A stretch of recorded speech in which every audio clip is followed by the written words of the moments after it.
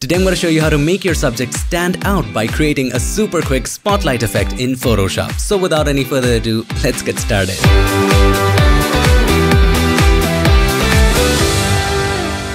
Back in the magical world of Photoshop and there are just two steps involved. Number one, darken the background and number two, brighten the subject. As easy as that. So step number one, darken the background. So create a curves adjustment layer by clicking on the adjustment layer icon and then choose curves. Take the highlights down. The rightmost point, take it down just like that. And let's add some contrast to the dark areas by taking a point down on the left hand side. You can always adjust this later. Now what you need to do, you need to select the mask, take the brush, make sure it's big, make sure it's hard, opacity and flow at 100, blend mode at normal, and then just dab in on her face. Now press Ctrl or Command T, adjust it the way you like it, just like a spotlight. Now once you do adjust it in the shape that you want, you can also distort it. You can right click on it and choose distort and now you can even adjust it in a shape that looks more like a spotlight. You can also do this. You can right click on this again and choose warp. So make the top area a little narrower just like that and bottom area a little wider and I'm going to take it a little up. Something like this. You can go custom with this. Once you're happy with the shape, hit enter or return. Here's the fun part. Select the mask, make sure the properties are open. You can simply click on in here or go to window and then make sure properties is checked. Now in the mask properties, just increase the feather. As simple as that. For this example, let's go for a little higher numbers. I'm going to type in 430. Alright, this is perfect, amazing. Now what you can do, you can just name it darkening the background. With the curves adjustment layer selected, press Ctrl or Command J to make a copy of this. Now let's name this brightening the subject. Now I know this is doing just the opposite, so we need to select the mask and then press Ctrl or Command I to invert the mask, but it's still darkening everything. It's just making it worse. Here's what you need to do. You need to double click on in here to open up the properties of the curves. Just to reset it, click on the reset button. Take it in the opposite direction just like that to make the brights even brighter. Now to add contrast, just click a point on the left hand side and just take it down just like a curve to add some dimension to it. There you have it. Have a look at the contrast. It looks amazing. So here's the before. Here is the after.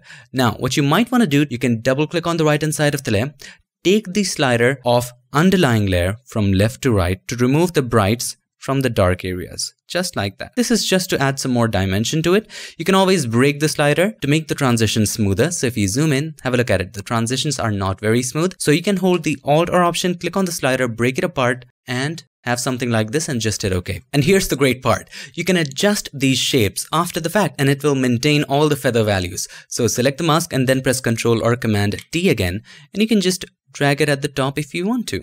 So I wanted to brighten the top that's fine. And let's go to this one as well, Control or Command T, and just drag it up a little bit. Once you're satisfied, hit enter or return. Now, as you can notice, some areas are losing details due to extreme highlights. So we need to remove them. So let's zoom in, select the mask. If we take the brush, black as the foreground color and if we try to paint it, it will not work because we have added a lot of feather to it. So if we paint black in here, it just won't work because there's a ton of feather.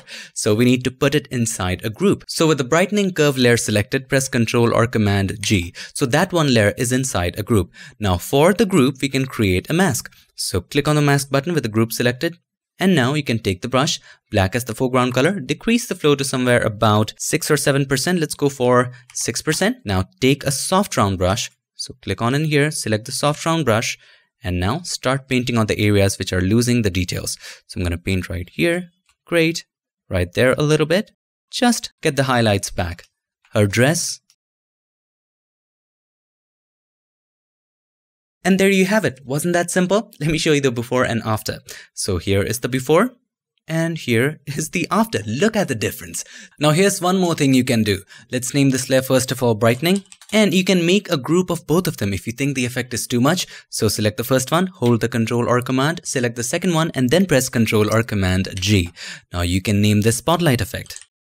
You can always decrease or increase the opacity. So you can decrease it if you think it's too much or increase it if you want to enhance the effect. And for some reason, if you want to increase it beyond 100, you can always go 100 and then make a copy of it. Press Ctrl or Command J of the whole group and then make a group of both of these groups, Ctrl or Command G and then decrease or increase the opacity because I think it's of course too much and we can go maybe 68 or something like that. Or alternatively, if you want to keep it clean, if you want to keep everything clean, you don't have to make a group at all. If you want to make the background darker, just open up the curves properties and take it down from here. Just like that. And if you want to make the highlights brighter, you can take similar steps. Also, if you want to introduce some color in the dark areas, that can be done too. So let's go to the blue channel and you can just increase some blues in the dark areas as well. That is possible too. So just go creative with this. This can create amazingly awesome results. So that's how to make your subject stand out with a simple spotlight effect. All you need to do is this, darken the background and brighten the areas of the subject.